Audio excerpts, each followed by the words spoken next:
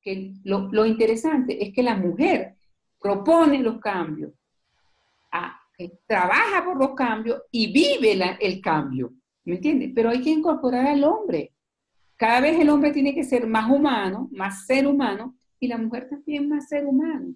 No podemos seguir manteniendo una diatriba constante, una lucha